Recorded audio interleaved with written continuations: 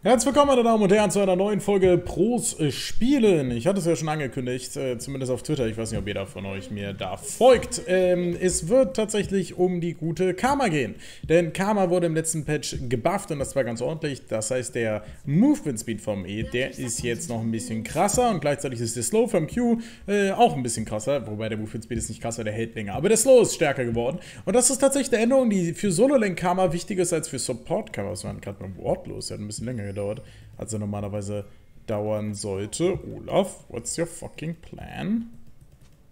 Oh, okay. okay. Ähm, na gut. Ich werde schon mal Q skillen, weil das hier wird auf jeden Fall eine Q-Situation. Wir counter-invaden jetzt den Invade der Gegner. Das ist auf jeden Fall schon mal 4000 IQ vom Start weg. Ich glaube, ich kann jetzt noch einen Ticken leiser machen. Ah, oh Gott, ich hab... Eieiei. Uff, okay. Na gut, also die Gegner haben scheinbar, wenn dann Topside invadet, das heißt, wenn ihnen jemand über den Weg läuft, dann bin ich das. Hip hip hurra. Ich spiele gegen Yasuo, ist nicht unbedingt das netteste Matchup. Es wird ja hauptsächlich um Tank Karma gehen. Man kann Karma aktuell auf drei Positionen flexen. Man kann sie Support spielen, kann sie Midlane spielen, man kann sie Toplane spielen. Jeder Spielstil unterscheidet sich ein bisschen. Äh, Support Morgana baut andere Items als Midlane Morgana und auch als Toplane Morgana. Generell hängen die Items von Karma allerdings immer vom Gegnerteam und vom eigenen Team ab. Das heißt, wenn ich hier einen Jin habe, muss ich mir nicht unbedingt einen Ahn Sensor holen. Ja, das sollte relativ klar sein. Äh, Yasuo ist deswegen ein bisschen unangenehmes Matchup, weil er den Q natürlich mit der Woodwall blocken kann und generell natürlich auch ähm, ein kleiner Nervidiot ist. Wir spielen das Ganze mit Kleptomancy. Das bedeutet, wir versuchen mal wieder unseren Goldhaushalt zu maximieren, während wir den Gegner maximal auf die Nerven gehen. Ansonsten äh, Free Boots, ne, wie immer, Biscuits, wie immer. Ihr, ihr, ihr, kennt das, das ist so Standard. Das Einzige, was ich hier bei Karma anders mache als auf anderen Champions, ist, dass ich für Cosmic Insight gehe. Und das ist das, was dir mal 5% extra CDR gibt und was auch nochmal Item ähm, Cooldown Reduced etc. Der Yasuo macht das übrigens ganz gut. Ich komme bis jetzt noch nicht wirklich dazu, klappt so irgendwie zu brocken. Gerade gegen Yasuo gehe ich gerne für W auf äh, Level 2. Hat den Vorteil, dass ich äh, in so einem Trade jetzt hier sagen kann, okay, dann lass uns das doch einfach mal machen, mein Sohn. Hm? Äh, und da merkt er auch, okay, ist relativ coole Heilung. Gleichzeitig habe ich auch noch zwei Kleptobox daraus bekommen. Das heißt, irgendwer da oben ist äh, auch kein Yasuo-Fan. Okay, das hätte ein Flash-Knockup werden können von Rek'Sai. Deswegen habe ich da ein bisschen gepanikt. Ich glaube, er hätte den Flash-Knockup sogar durchbringen können. Sofort am Anfang. Oh, ja. Q-Range ein bisschen unterschätzt. Muss hier ein bisschen aufpassen, das ist natürlich jetzt nicht unbedingt äh, die Situation, wie man so eine Lane starten will, aber denkt dran, ihr habt die Kekse dabei, ihr habt immer noch mal ein bisschen extra Sustain, der kommt früher oder später. Das heißt, selbst wenn eine Lane mal am Anfang kacke läuft, bist du nicht immer sofort denn wir starten ja mit Corruption Potion und habt danach dann eben die Option, mit den Keksen wieder hochzuhalten. Und deswegen könnte man ja auch wieder für äh, längere Heilung etc. von Buffs gehen, also längere Potion-Dauer, aber Cosmic Insight hier eben, oh, what are you doing, man? Okay. Door, das Smite war sick. Okay. Ja, okay. Der hat aber richtig Bock, der Junge. Okay, okay, okay, okay. Das ist okay. Äh, holy shit. Äh, damit habe ich überhaupt nicht gerechnet, dass der den komplett vertrümmert. Hätte wahrscheinlich hinmoven sollen. Aus meiner Sicht war die Situation fein, weil der Blue Buff schon weg war. Wenn der Blue Buff doch da gewesen war, hätte ich verstanden, warum der Olaf da unbedingt fighten will. Aber Olaf, der low geht, hat natürlich auch einen Tech-Speed und einen Lifesteal, der ist komplett insane. Ähm, dit hier so Flash. Äh, Rex hat auf jeden Fall geflasht in der Szene. Holy shit. Also dadurch wird der Olaf natürlich relativ dick werden. Reden wir ein bisschen noch über, was macht Karma auf der Toplane aus. Karma macht aus, dass sie mit extrem geringen Cooldowns an sich gesegnet ist, die du quasi über Cooldown Reduction nochmal weiter runter donnerst, über den Q gerade im, im, Early- und Mid-Game sehr effektiv poken kann und später, wenn sie zu den Teamfights dazukommt, fast unkillable ist, selbst wenn sie nur Resistenzen stackt. Und das tut sie relativ oft. Oder massiv viele Resistenzen stackt, wo andere normalerweise Leben nehmen müssten, weil sie halt eben über das Schild permanent quasi extra Leben bekommt, wenn man das so nennen möchte. Und äh, das ermöglicht ihr Itembild zu gehen, die andere nicht unbedingt gehen. Und gleichzeitig ist sie dadurch natürlich auch extremst wertvoll für ein, für ein Team, weil sie natürlich ein äh, Team Solo an Leben halten kann. Ihr habt die Empowered-Möglichkeiten bei Karma, das heißt, ihr könnt immer entscheiden, welchen Spell ihr quasi äh, in dem Moment nutzen wollt. In äh, ganz, ganz vielen Fällen wird das der Q sein. Später im Spiel allerdings nicht mehr. Ihr seid nicht, wenn ihr Karma spielt, spielt ihr nicht per se ein Damage-Dealer, sondern ihr spielt einen Supportive-Charakter, der durchaus Carry-Potenzial hat, aber pst, Das äh, müssen wir ja niemandem verraten. Ich starte ganz gerne äh, hier einfach mit ähm, Sheen und nochmal der Club Armor. Normalerweise würde ich auf 1050 Gold recoilen. Wenn ich gegen sowas wie Yasuo spiele, die, sage ich mal, durchaus All-In-Potenzial haben, warte ich immer, bis ich mir noch eine Club Armor holen kann. Core-Build auf jeden Fall für mich das stärkste Item, Iceborne Gauntlet, super stark. Iceborne Gauntlet hat normalerweise das Problem, du kriegst kein Leben, aber du kriegst halt eben die Schilde und dadurch funktioniert das Ganze relativ gut. Was auch noch so eine kleine Sache ist, lest euch einfach den Spell durch, der ist super wichtig. Wenn ihr den aktiviert, dann haltet ihr euch für über 20% eures fehlenden Lebens. Und äh, wenn die zweite Instanz trifft, nochmal. Das bedeutet, dass ihr damit unglaublich viel Sustain habt in Situationen, wo man das nicht unbedingt von Akama erwarten würde. Ich denke, man würde das generell nicht von Akama erwarten. Kleptomancy gegen Yasuo stetig zu pocken ist natürlich relativ schwer. Da sind andere Matchups angenehmer. Ich habe zum Beispiel gegen den Jax gespielt, die habe ich kaputt gelacht. Ne? Ich habe den ganzen Tag der Autotech. Der hat, irgendwann hat er angefangen, sein E einfach nur zu nutzen, damit ich keine Kleptoprox mehr kriege, weil es ihm so oft die Nerven ging verständlich, aber eben natürlich auch sehr, sehr witzig.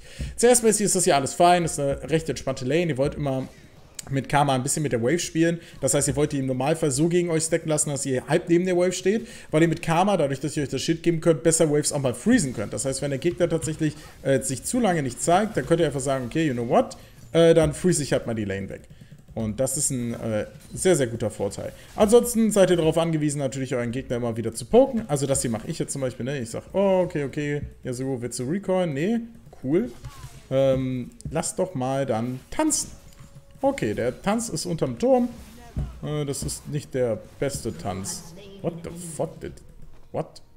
Also der wäre ja auch so gestorben. Vielleicht hatte der im letzten Moment noch Vision auf Olaf bekommen und hatte mit seinem Leben schon abgeschlossen. Anders kann ich mir das hier gerade nicht ganz erklären. Wollen das Ganze natürlich jetzt hart pushen. Das war jetzt nicht so der härteste Hardpush meines Lebens, weil ich unbedingt auch noch den Cess haben wollte. Das heißt immer, wenn ihr merkt, ihr habt so einen kleinen Push verkackt, ähm, dann stellt euch einfach hier vorne und versucht die Miniwave so zu nehmen, dass die ähm, Minions noch in den Turm laufen. Das lässt sich allerdings auch nicht immer umsetzen. Äh, Yasuo ist jetzt Level 6 und ich habe eine sehr unangenehme Lane-Situation vor mir. Das heißt, ich werde das jetzt versuchen mit Manta-Qs zu hard pushen. Während mein Yasuo schon wieder, äh, mein Olaf schon wieder Bock auf den nächsten Gank hat. Oh, der hat den Knockup gemisst. Ey, was macht der Yasuo denn? Also es ist, wie gesagt, immer derselbe Account, Leute. Also ist jetzt nicht der talentierteste der Bande, ne? Da will ich mal ganz ehrlich sein. Aber wir haben alle mal ein schlechtes Game. Ich habe zum Beispiel es sehr unschön gefunden, dass unter meiner letzten Folge ähm, der, mein Gegner-Team hat die ganze Zeit den U-Gott geflammt, wie, wie, wie, so komplette Trottel. Und ihr habt das dann auch gemacht in den Kommentaren. Wir sind hier Teil einer Community, wo man sowas nicht macht. Wir benehmen uns. Ne? Ihr benehmt euch, ich benehme mich. Das ist der Plan. Wir versuchen da einfach immer ein bisschen relaxter zu sein. Also seid das bitte auch. Thanks for the camp. I am fine now. Feel free to play botside. Äh, sowas lohnt sich einfach immer mal wieder zu schreiben, weil euer Jungler freut sich, denkt sich, oh cool, das ist ihm aufgefallen, ihr habt dadurch nichts verloren und gleichzeitig äh, freut sich auch die Botlane, weil sie denkt, oh, da oben sind sinnvolle Dinge passiert und jetzt soll er runterkommen, da freuen wir uns alle sehr. Ja, so an sich, also ich, ich habe äh, jemand, der unglaublich gerne Tank, kam schon immer spielt, ist äh, Chakras, heißt er. Ähm, ist jemand, den ich sehr respektiere, weil er früher auch den Gold-Effizienz-Spreadsheet ähm, gemacht hat, was ich lange Zeit genutzt habe. Arbeitet mittlerweile bei Riot und der hat geschrieben, dass Yasuo für ihn eins der auf dem Papier unangenehmsten Matchup ist. Er es allerdings sehr gerne spielt und ich kann da re relativ hart relaten, weil es ganz oft so ist, dass ihr die, den ähm, Ultimate W gegen Yasuos insane gut nutzen könnt. Gleichzeitig das Matchup allerdings auf dem Papier nicht unbedingt geil aussieht. Und äh, für mich sind dann eher also, ja, es gibt wenig Matchups, die ich richtig schlimm finde. Ich glaube, Fiora ist unplayable tatsächlich, weil sie euch einfach outskate und sie immer euren Weg quasi ja beantworten kann. Weil ich da um Turret Plate irgendwie ein Wort cleare? Nee, ne? Nee, es sollte fein sein. Ich habe das Gefühl, dass der Yasuo auch nicht mehr so viel Lust hat zu spielen. Kann ich ihn jetzt nicht direkt verübeln. Iceborne Gauntlet, deswegen natürlich auch so gut, weil den Gegner permanent slowt, wo wir jetzt auch einmal in die Diskussion kommen können, was kann man sonst an Runen mitnehmen, weil ich kenne euch ja, ne, ihr wollt ja immer da sind die Kommentare ja schon voll. Warum nimmt man nicht XY? Und die berechtigste Frage ist wohl, warum nimmt man nicht die Slow-Rune? Ich glaube, man kann die Slow-Rune durchaus nehmen. Gerade auf der Midlane ist das äh, definitiv machbar. Ich glaube tatsächlich, dass es auf der Toplane nicht unbedingt worth ist. Oh, shit, ich hätte reintippen sollen. Das wäre ziemlich gut gewesen. Ist der Yasuo jetzt wirklich einfach AFK? Ich meine, da wäre ein bisschen lame. Also, in dem Game kann er kaum seinen Jungler blamen. Äh, Yasuo AFK, I guess. Ja, da hat unser Jungler eben mal kurz den Yasuo aus dem Game gedonnert. Äh, oder war der irgendwo und ich habe es nicht mitbekommen. Ab und zu aktiviere ich hier einfach den E, um ähm, mein Eisbock Gauntlet zu procken. Ich aktiviere den E, weil er 10 Mana weniger kostet. Gleichzeitig ist der E allerdings auch ein bisschen weniger, wenn ihr, äh, wichtiger, wenn ihr äh, dann Gegner trefft, weil ihr mit dem Movement Speed vom E ja rauslaufen könntet. Äh, so ist tatsächlich AFK. Ah, you gotta be shitting me, äh. Tja, Leute. Mach ich ihn damit jetzt? Das Wort für den Zweitkanal. Übrigens ist es völlig egal, wie viele Leute einen Typen reporten. Ähm, und tatsächlich ist es nicht erlaubt, nach Report zu fragen. Ist ein bisschen weird, aber so ist die Riot-Auslegung. Generell ist es so, dass quasi jeder Reporting-Game flaggt. Ähm, bedeutet, es wird sich dann angeguckt vom Algorithmus. Und da ist es scheißegal, ob es einmal gefleckt wurde oder neunmal. Was beschissen ist, wenn ich das mal kurz mal sagen darf. Also ich halte es für kompletten Unfug, dass es so ist, wie es eben ist. Aber so ist es. Deswegen könnt ihr euch das einfach sparen. Interessant. Nico hatte jetzt hier aber sehr viel Bock auf mich. Äh, ich werde das hier einfach ganz entspannt spielen, ne? I don't really care. Kann sie jetzt hier auch wieder snären. Ich habe auch ganz schön viele Kekse und alles. Oh, what? Äh, noch ein Keks. Gut, noch ein Keks. Komme ich da noch ran? Nee, komme ich nicht. Na gut. Ja, ich muss sagen, Karma kommt mir extrem stark vor. Ich weiß allerdings noch nicht, ob ich sie auf der Midlane vielen spielen werde, weil es halt eher so semi-geil ist. Wenn du gegen Leute spielst, die einfach mehr Range haben. Das ist nie so richtig schön. Ich habe nicht noch ein Schild für ihn, aber es sollte auch fein sein.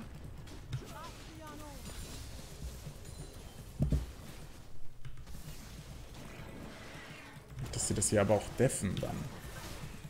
Richtiges EU-West-Open-Ding. Ich kann ihn hier aus der Distanz immer wieder supporten, aber ich kann da nicht wirklich rein. Das heißt, wenn er da reingeht, wird er sterben. Hui. Ich muss sagen, bei so Champions wie Karma, wo du auf viel Movement Speed gehst, ist es immer, finde ich, relativ tricky. Oh, fucking Ignite. Ohne das Ignite hätte ich mich da deutlich mehr geheilt. Ja, das ist so ein typisches EU West Open, ne? Darüber memt man ganz gerne. Hm. Spirit Visage ist relativ strong, weil es deine Heilung über den W auch nochmal erhöht und weil es dir halt Leben und MR gibt. Das heißt, du bist insane tanky. Ansonsten aggressivere Items wie sowas wie Rod of Ages, aber ich finde Rod of Ages relativ bad. Also Shakaris spielt es, weil der Katalysator gut findet. Und ich verstehe auch die Idee. Und du kriegst halt extra AP, aber ich finde es ehrlich gesagt nicht gut genug. Die piech ich jetzt einfach hoch.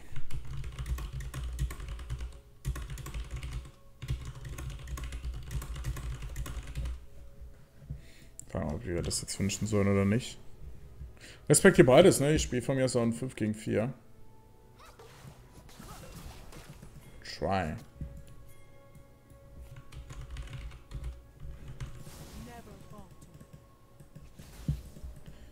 Ein bisschen Sorge, dass die mich hier kollapsen und irgendwie sonst was machen. Ich muss sagen, der Yasuo hat dafür, dass der so scheiße gespielt hat, ist es halt echt hart, BM dann, dann auch noch zu lieben, ne? Also es ist generell immer hart, BM zu lieben. But I mean, in dem Fall, spiele ich auch Minions?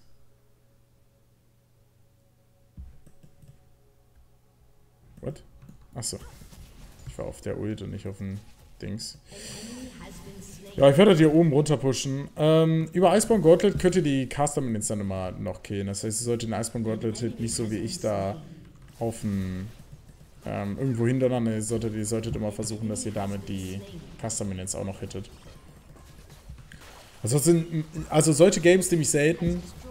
Solche Stops gibt es natürlich, aber das ist ja eher unattraktiv, wenn man mal ehrlich ist.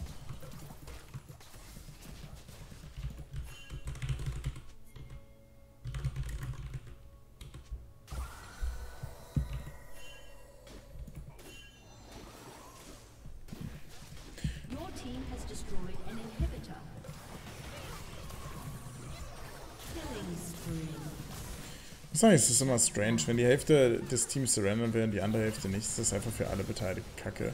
Weil wir können das hier nicht vernünftig finishen, auch weil Olaf hier die Wave nicht stacken will. Why ever. Das ist uh, really basic at least.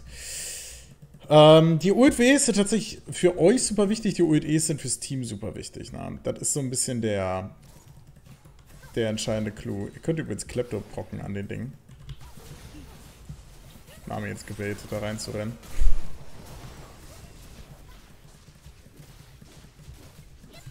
Come on, ey.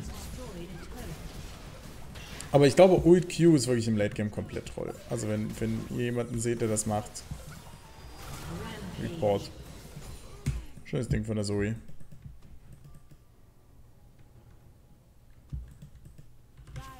Ne, ich speede keine Minute. Wäre aber cool, wenn es so wäre. Zumindest so Giga-Minions hier würde ich gerne schäden können.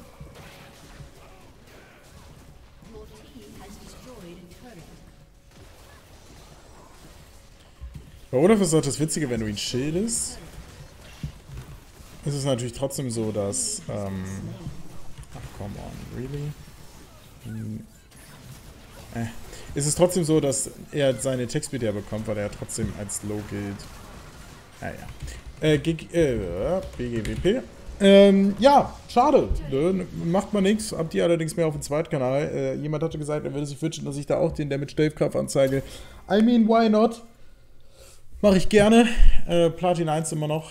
5 Jahr Promos runtergerannt gefühlt. Ja, das war äh, Karma Top. Habt ihr schon auf dem Main-Kanal gesehen, aber hier auf dem Zweitkanal. Viel Spaß.